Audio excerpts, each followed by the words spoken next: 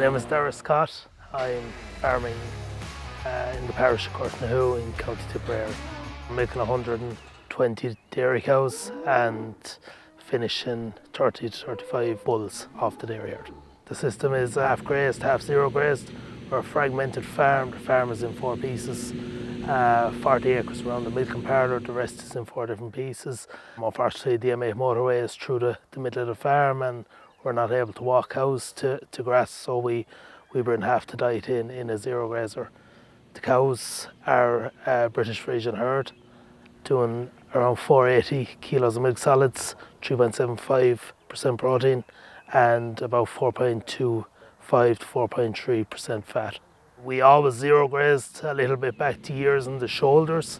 As things progressed, we needed an income off the farm and dairy cows were the only possibility to give that to us. We were milking 70 cows around 2018 and we felt that we could push the system and push more grass into cows with the use of a zero grazer from those fragmented blocks we did ask ourselves the question do we zero graze or do we do we go for a more intensive system? Do we grow maize? Do we grow, grow fodder beet do we go for a two, two, two to three ton cow and have these inputs come in coming in off those fragmented bits? We know we know grass we know how to grow grass. Other crops they complicate the system a bit particularly when you're feeding it all year round.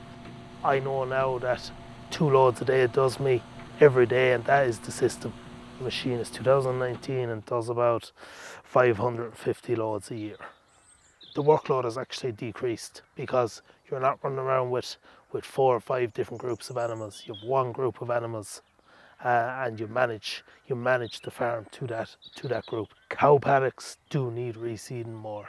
Uh, we do find out we are undersown the, the zero grazing ground with clovers. Um, there's red clovers and white clovers going in it just adds to the system. It, it adds milk solids to the cows on the other side. We don't go out in the spilling rain. That's why we have good silage in the yard if we're stuck. Most days you'll you'll get even if it's showery weather, you'll get you'll get an hour or two where you'll go out and you'll get dry grass off the field and you won't do harm and you'll get you'll get good a good grass back to your cows.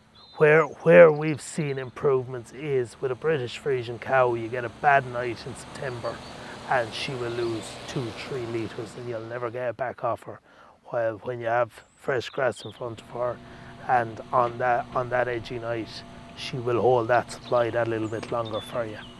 If cows are getting a little bit loose, we'll uh, we might go into we might leave a little bit of a heavier paddock, so heavier field somewhere, and go into maybe a 2,000 cover with one load and a 16 or 1700 on a on the second load, just to try and get that little bit of fibre into the diet we, we'll stay cut until just just farm cover hits whatever we want it to be at, then we'll just pull the plug on it.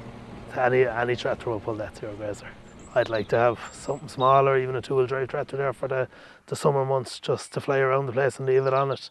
Uh, just when you're working your home life, but and not tying up the, the, the heavier horsepower machines to uh, to the zero grazer.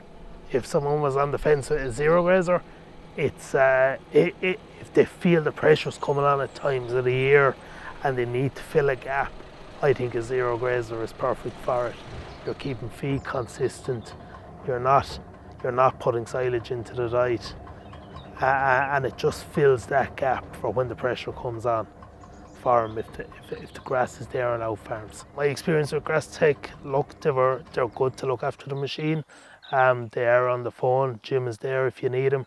There has been one or two days where, where I did break something and and uh, and I'd ring Jim and, and to be fair, like there'd be a part left out for me if, if there was someone passing or or if I needed if I needed to get going straight away. But to be fair, I've there's there hasn't been a day that machine hasn't gone.